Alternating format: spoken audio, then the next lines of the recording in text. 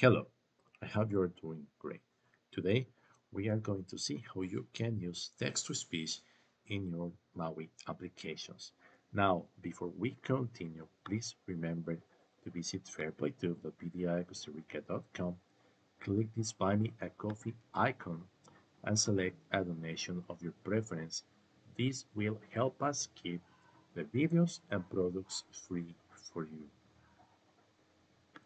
So let's go to Visual Studio. You will see that in here, um, I have this piece of code. This piece of code basically allows me to convert some text to audio in my Maui application. Now, why do I want to do that? There is a term in software named accessibility, which is kind of a synonym for disability inclusion, right? Basically, it's designing your systems in a way that helps everyone use your applications despite their despite the person's conditions, right? Um, so some people uh, may have like uh, problems hearing, right? Uh, maybe not a total loss of hearing, but some uh, reduced hearing capacity. I believe the term is lowered hearing. I, I don't know what's the normal term on that, but you may want to help those persons. So one of the things that you can do is actually have your application generating audio. So instead of only have text driven menu items or actions, you may want to have the application sending messages to the device's speakers so that the user hears what he's he or she is uh, reading or what needs to be done, etc., etc. Right? So that will actually help a lot. How do you do that? How do you do that in Maui? So Maui basically ex um, expose a lot of the classes for the devices. And here you see that this text-to-speech is basically a class that generates the output. Usually the Maui classes are going to be the name of the class with the immediate access to the method or I mean and also a dot default dot speak async.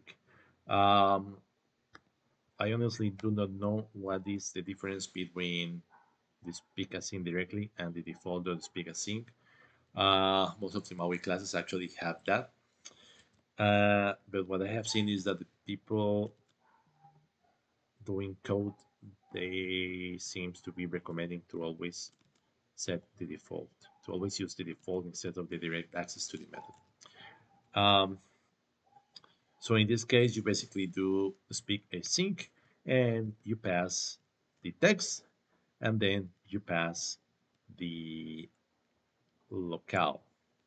Now, the locale you cannot create it. You actually have to get it from this get locales locales async, right?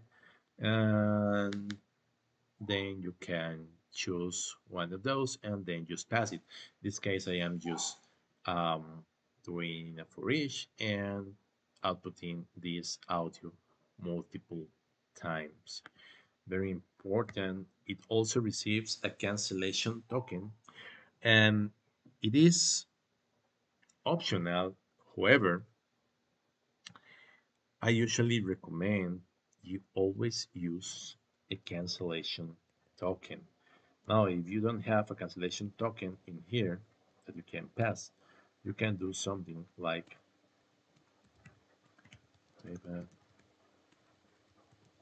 cancellation token source, cancellation token source, equals new. Okay, and then you can do cancellation token source dot token. You can pass that and then you will be able to do something like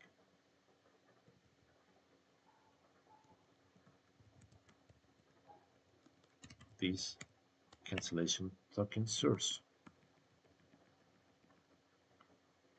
Uh,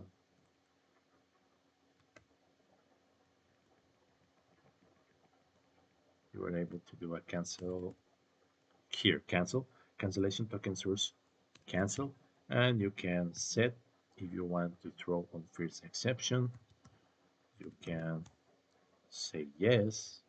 So this is basically so that if you want to cancel, for example, if the user uh, change the page or something like that, you want may want to cancel this. So this code is immediately cancel instead of um, continue executing.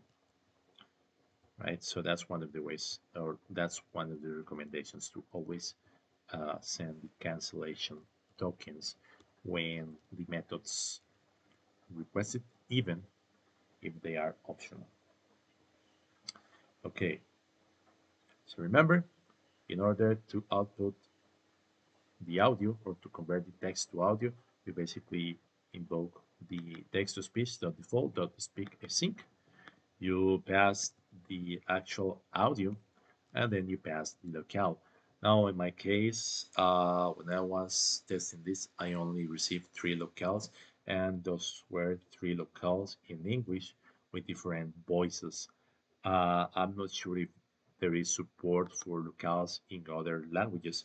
I'll actually ask the Microsoft team and let you know what they tell me about this. Thank you very much and have a great day.